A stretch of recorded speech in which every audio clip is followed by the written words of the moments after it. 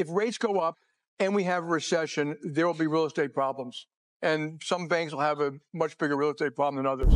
What if we told you that the very foundation of the real estate market is collapsing? The stability you once knew is now hanging by a thread. Well, that's exactly what Jamie Dimon, the finance genius, is hinting at. At the center of the worldwide financial maze, one category stands tall However, not without risk. The real estate property. Visualize this skyscrapers, busy offices, and bustling shopping department shops. It forms the spine of the urban panorama, maintaining financial activity and shaping the metropolis's skyline. At the heart of this confusion is a surprising quantity nearly 1,000 million greenbacks of industrial multifamily mortgages due to mature in the next 12 months. That's a sobering statistic, enough to make even the most pro investor pause in realization. But why is this loan so safe? Why must we listen? For starters, let's talk about danger assessment. You see, a huge portion of this debt is held by means of community banks, the unsung heroes of nearby finance.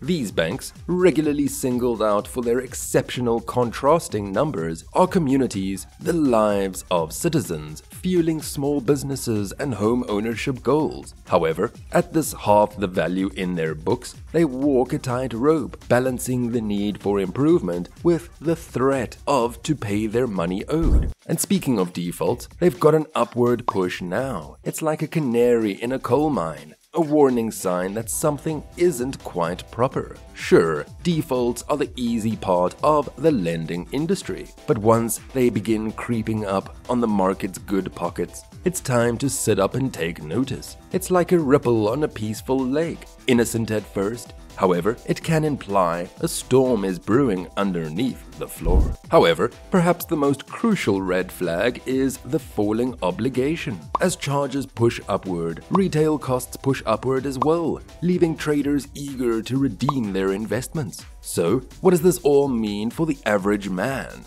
This method is used in the once robust world of industrial actual estate to deal with the unparalleled demanding situations. It suggests that the dream of proudly owning a slice of American dream may work in a protracted manner.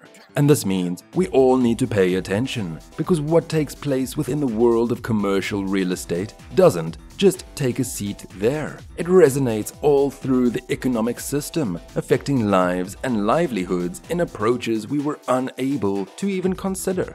To really understand how retail is doing now, we have to go back to picture this the 1980s when there was a surplus and surplus, but also when interest rates were rising.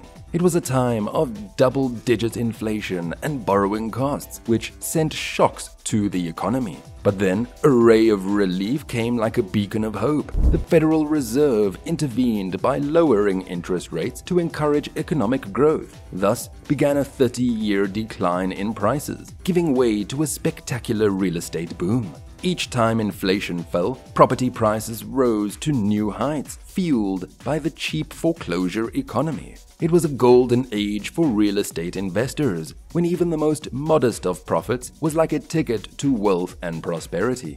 But as they say, all good things must come to an end, and after the Great Recession, when minimum interest rates began to fall, wary of inflationary pressures, the Federal Reserve began monetary tightening, which gradually raised inflation to normal levels. So, as we go through the waters of retail, we no longer forget about the instructions of the future. Let's draw inspiration from the resilience of those who have come before us and chart a manner ahead with ideas, know how, and a sturdy perception within the sustainable electricity of real estate shaping our international courses. As interest rates increase, casting a shadow over the country's economic system, the consequences may be far beyond the real estate sector. It is sort of a ripple impact, flowing via the financial system and impartial without. Consider the dire situation of the average consumer. Rising costs make the whole thing from mortgages to vehicle loans more expensive.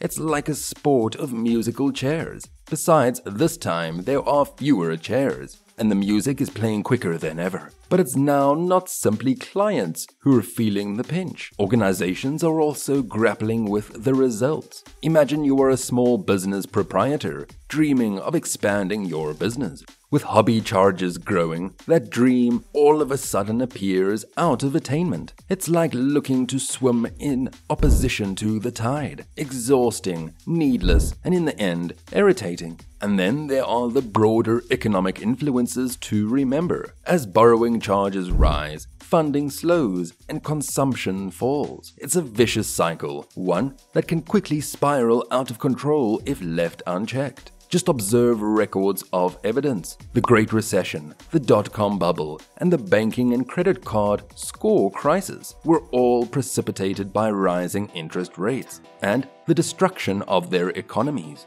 But in the midst of destruction and gloom, there is also a glimmer of hope. For every venture, there is an opportunity, a chance to innovate, adapt, and thrive in the face of adversity. It's like a phoenix rising from the ashes, an image of resilience and renewal. Assuming he has a reliable compass and experience in change, navigating tight economic terrain faces challenges at every turn. It's like a game of chess where flow requires careful consideration and strategy. But as you overcome each obstacle, you become stronger and more adept at the treacherous waters you've been in before. But he warned, risks are hiding somewhere because of this fact. It looks like a thriller, but with plot twists and puzzles that'll keep you on the edge of your seat. Just when you think you've reached the tipping point, there seems to be another threat that threatens to derail your progress. But keep in mind, adversity is only a veiled opportunity,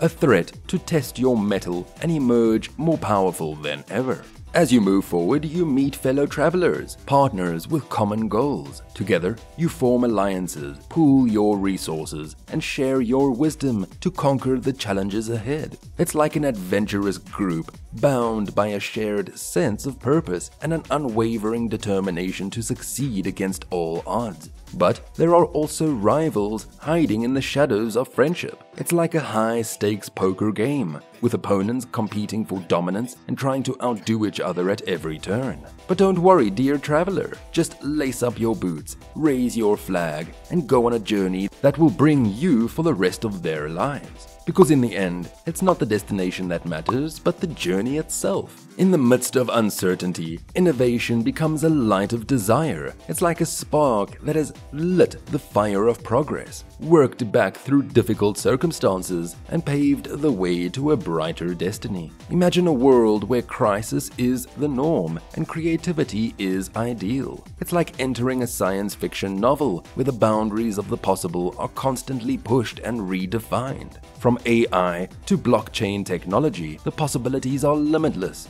and the potential to change the way we live and work is amazing. But in the chaos, there is a bright light, a bright suggestion that already lights the way. It's like stumbling upon a hidden reservoir of ideas, ready to be unearthed and released into the world. Let us embrace innovation with open arms, as it's our greatest ally in the quest for progress. Together, we use creative energy to navigate the uncertain territory ahead and emerge victorious on the other side. So that's it for today's video. For more insights and tips, don't forget to like, share, and subscribe. Until next time.